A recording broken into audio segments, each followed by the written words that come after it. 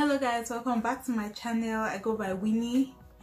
Yo i promise you guys a part two of week three review which is starting right now. When sarah was expressing herself to the all the girls when she finally came down from her hiding spot or her room and finally uh, um, expressed herself and why she cut Matt, Matt James off in the group date that she wasn't involved in. And basically apologizing i felt so bad. I felt so bad for her because she was bullied. In all honesty she was bullied. Those girls were malicious. I think victoria was even the one making it worse than it should have been. Because she would say something victoria would be like oh i don't accept your apology. No. Who said like no i'm not like you know talking back making it worse and aggravating the other girls to talk more and like oh yes you still did this like it's so angry you took out of a 10 other people yeah see i understand the girls frustration right concerning um, someone else that have had a one-on-one -on -one, taking out of your time on a group date when you're not involved in it. But at the same time Sarah definitely did not need those girls coming at her like that because honestly I could see how attacked she was and I, I wouldn't want to be in that situation myself. I know like I could see that already she's this type of person that she's very emotional and very sensitive so everyone ganging up on her like oh I, like I wouldn't forgive you like us the girl that blonde hair girl i've forgotten her name i don't care to remember her name. The one that said oh if you continue living in this house i'm telling you um it will get worse for you. Like what does she mean? Like come on relax girl relax. Like who are you to say that to someone that you make her life worse in as far as she continues to stay there? Like yes someone offended you for the fact that she's coming to apologize means something. It's not everyone that will apologize. If it was victoria that did that do you think victoria will apologize to you?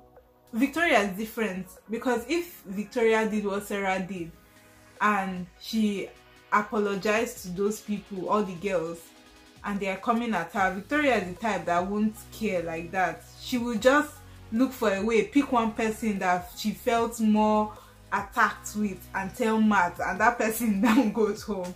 Like that's that's Victoria for you but unfortunately this girl Sarah Sarah is not like that. She really showed her heart. Like she's honestly a good person. She wasn't trying to talk to somebody some of the girls but they're like I don't I don't talk to you. Then in the morning they're wondering why she wouldn't talk to any of them. Like especially that blonde hair girl like she's she has curly hair. That girl i don't even care to know her name either. Like she she was just there talking to was it Bri in the morning that oh she didn't talk to any of us blah blah blah that you know i'm just going to do my own she will do her own. Girl like uh, please please take a seat.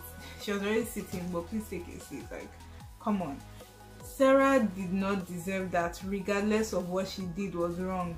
You know she didn't deserve to be ganged up on because her feelings are still valid and she couldn't wait to express how she felt and she was almost going to leave the house.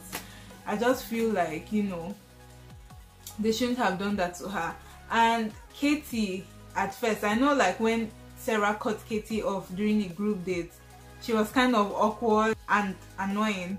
And you know she's the vibrator girl so i always give her this look like this girl is not a serious person. The morning when she spoke to sarah i was actually happy she did that. Because out of the other girls like she took her time to actually talk to sarah and talk to her in a nice way to understand how she's feeling and encouraged her you know stay. Like don't do don't go because of what happened that what happened to you was sad like it was sad and you know she understood her like that the, the girls did the wrong thing towards her. And even though she still tried to talk to her to stay sarah still decided to go home because of her father's illness which is very valid and i actually resonate with because in situations like that you never know what will happen. You want to make the most out of time with the ones you love and that's very important because you don't always get back time lost with people you love so. Yeah um so that that was sad. I was actually tearing up we had to like i was tearing up when they're tearing up and crying concerning dad and katie and um katie and um, sarah.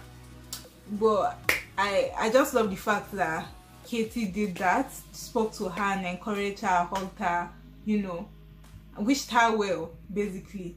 And when she when katie went down to tell the other girls i didn't like the fact that like victoria was clapping that she was going home. But i liked how katie addressed them that you don't know people's story. And genuinely you don't. So you don't treat people anyhow because people might be going through a lot. Who are you to like say oh i'll make your life worse in this house? Like that girl i bet she goes home this week i mean next week I bet she goes home next week. Like she can't say that. You can't do that. That's unfair. That's bullying. Well, I liked how she addressed them that you know you don't know people's stories, so we have to be mindful of that basically. So uh, Katie is actually honestly starting to grow on me, but I don't know if her and like James, my James connect. Like you know if there's chemistry there, but we'll see but yeah that's what i think. I think sarah did not deserve that. She's nice. She did she made a mistake but still she doesn't deserve to be ganged up on like understand and be like she apologized just accept it and move on and see how you how else you can make time with the guy. That's my review for this week three of the bachelor season 25 so please let me know what you think. Do you agree with me that sarah was bullied and the girls should have handled the situation better? What do you think? Make sure you hit that subscribe button down below. Give this video a thumbs up share if you care and also leave your comments and tell me what you think guys. Until we see next time i'm winnie. Bye